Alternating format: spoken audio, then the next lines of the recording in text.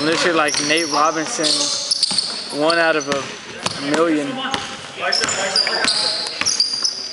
Good shot. Wait.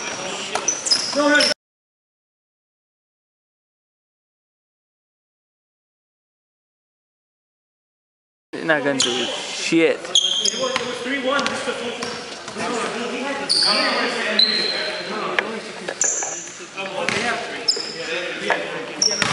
Damn, I, but I know that dude made so much money. They used to call it the five dollar gym. Remember? I only came here like two, three times, Yeah, I used to come here every Friday. and it used to be.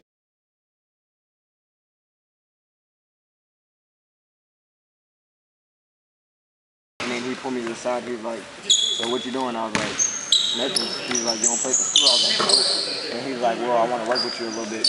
Uh huh. And I got but The offer's still on the table. Real? Damn.